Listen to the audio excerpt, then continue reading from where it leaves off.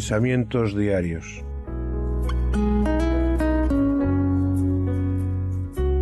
Sencillas pero profundas reflexiones para cada día de nuestras vidas. Meditaciones de la palabra de Dios nacidas de un corazón agradecido por su gracia y misericordia. Pensamientos Diarios.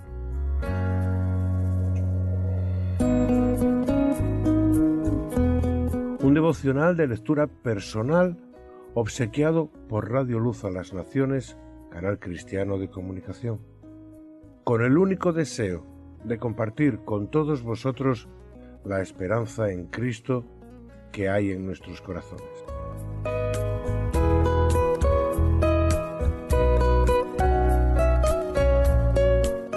Toda la verdad.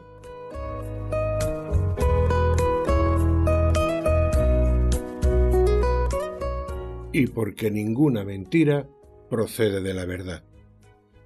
Primera carta de Juan, capítulo 2, verso 21. A causa de la verdad que permanece en vosotros y estará para siempre con vosotros. Segunda carta de Juan, capítulo 1, verso 2.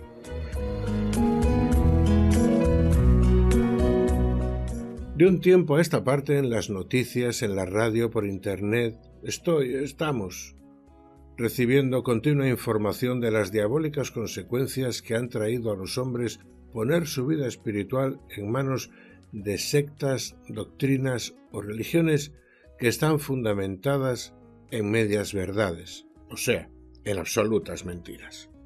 La verdad solo puede ser una, y esa unidad la requiere en sí misma. Así la verdad individual respalda y confirma la verdad global de la palabra de Dios.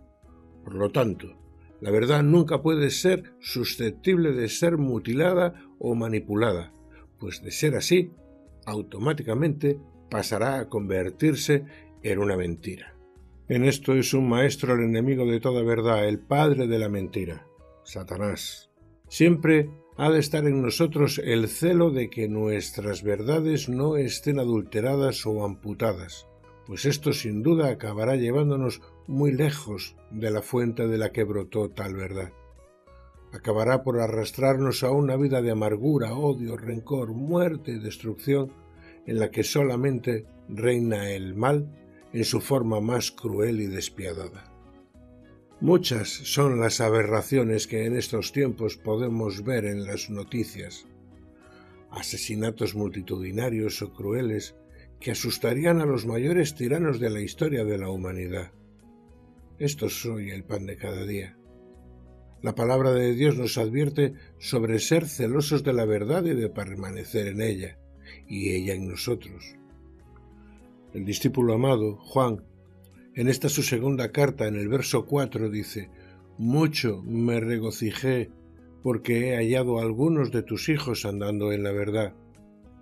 Es curioso, pero Juan aquí nos hace más hincapié en la verdad, el amor, la humildad y la obediencia que en todas esas horribles cosas que el pecado trae a las vidas. Posiblemente porque si nos mantenemos firmes en la verdad del Evangelio y en el amor a Cristo sea ese el lugar en el que nos encontremos a salvo de todas estas horribles aberraciones la verdad y el amor. Si tuviéramos que de alguna manera garantizar la forma de mantenerse limpio de las contaminaciones del mundo, tal vez pudiéramos considerar la verdad del Evangelio y el amor de Cristo como nuestros mejores aliados en tal empresa. Son muchas las personas que han acabado yendo en pos de los deleites del mundo por haber caído de la verdad o haber descuidado el amor. Las consecuencias de tales acciones son las que nos llevan a acabar justificando todas esas atrocidades que hoy hacen que nuestros corazones se encojan al escuchar cómo miles de personas son ejecutadas o cómo niños son bombardeados en el nombre de no sé qué justicias o no sé qué verdades.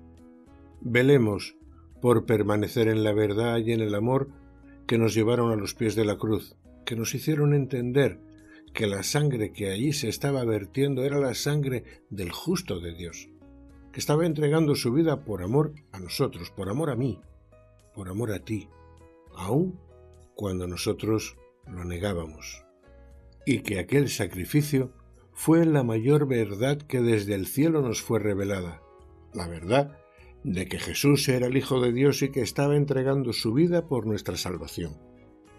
Y nosotros hemos conocido y creído el amor que Dios tiene para con nosotros. Dios es amor, y el que permanece en amor, permanece en Dios, y Dios en él. Primera carta de Juan, capítulo 4, verso 16. Que Dios os bendiga. Pensamientos diarios. Meditando en la palabra de Dios.